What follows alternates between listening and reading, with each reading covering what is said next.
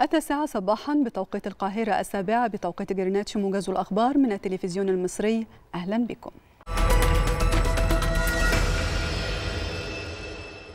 أكد الرئيس عبد الفتاح السيسي أن مصر تقف على أرض صلبة وقادرة على تخطي كافة التحديات وعبور الأزمات بفضل الأمن والاستقرار في البلاد.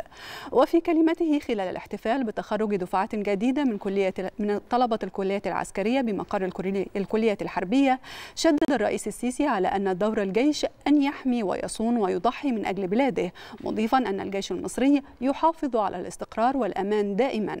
وقال الرئيس السيسي أن التخرج من الكلية يعد خطوة هامة في حياة كل خريج مشددا على أهمية الإرادة حتى يستطيع الإنسان التغلب على كافة الأمور والتحديات ومعالجتها.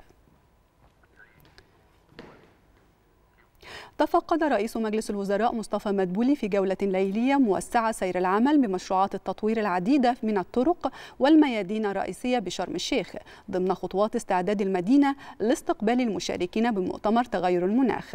أكد رئيس مجلس الوزراء أهمية استمرار التنسيق بين مختلف الجهات التي تنفذ المشروعات وأيضا الانتهاء العمل على الانتهاء من المشروعات قبل بدء فعاليات المؤتمر للظهور بالمظهر اللائق بمكانة الدولة.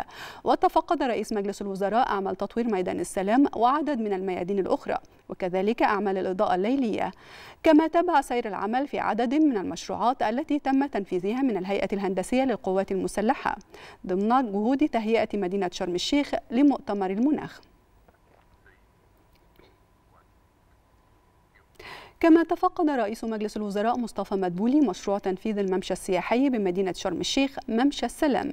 وخلال الجولة التفقدية أكد مدبولي أهمية مشروع الممشى السياحي في إيجاد مركز ترفيهي حضاري يدعم المنظومة السياحية بمدينة شرم الشيخ ويجذب أيضا السائحين والزوار كما يساعد على إتاحة العديد من فرص العمل والتشغيل.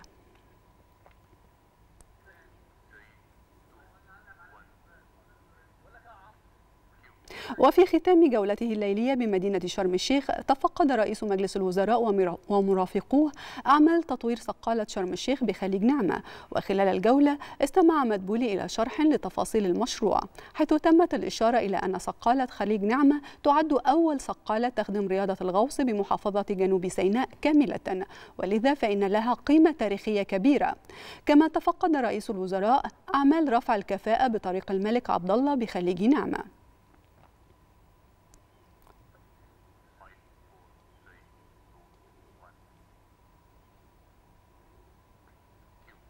أكد قائد القوات الجوية الفريق محمود فؤاد عبد الجواد أن القوات الجوية تمارس مهامها بكل عزيمة وإصرار ووفقا لأحدث النظم القتالية العالمية لتكون دائما على استعداد تام للدفاع عن سماء مصر. وهنأ الفريق محمود فؤاد عبد الجواد رجال القوات الجوية بمختلف تخصصاتهم بعيد القوات الجوية التسعين الذي يوافق ذكرى يوم الرابع عشر من شهر أكتوبر لعام 1973 والذي سطر فيه رجال القوات الجوية واحدة من أهم الملاحم البطولية المعروفة بمعركة المنصورة. وأكد قائد القوات الجوية الدعم المستمر الذي توليه القيادة السياسية والقيادة العامة للقوات المسلحة للقوات الجوية لتطوير وتحديث إمكاناتها بما يعزز قدراتها لتصون وتحمي مقدرات الوطن. رحبت الولايات المتحدة الأمريكية بانتخاب عبد اللطيف رشيد رئيسا جديدا للعراق. وقالت الخارجية الأمريكية في بيان أن الولايات المتحدة تحث جميع الأطراف على الامتناع عن العنف وحل الخلافات بشكل ودي وسلمي من خلال العملية السياسية.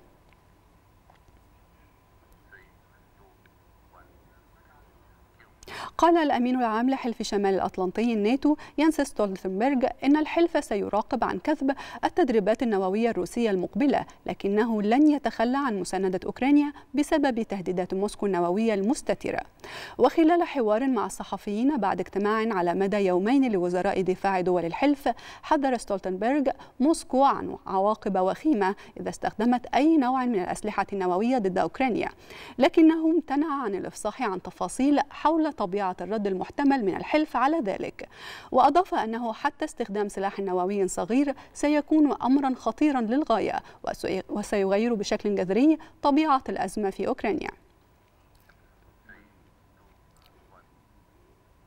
أعلن الجيش الكوري الجنوبي أن كوريا الشمالية أطلقت صاروخا باليستيا قصير المدى صوب البحر قبالة ساحلها الشرقي وهو الأحدث في سلسلة عمليات الإطلاق.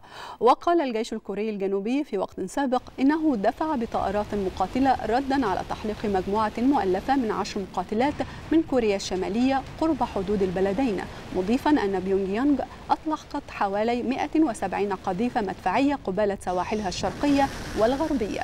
وفرضت سول أولى العقوبات من جانب واحد على بيونغ يانغ منذ ما يقرب من خمس سنوات حيث أدرجت في القائمة السوداء 15 فردا من كوريا الشمالية و16 مؤسسة تشارك في تطوير الصواريخ.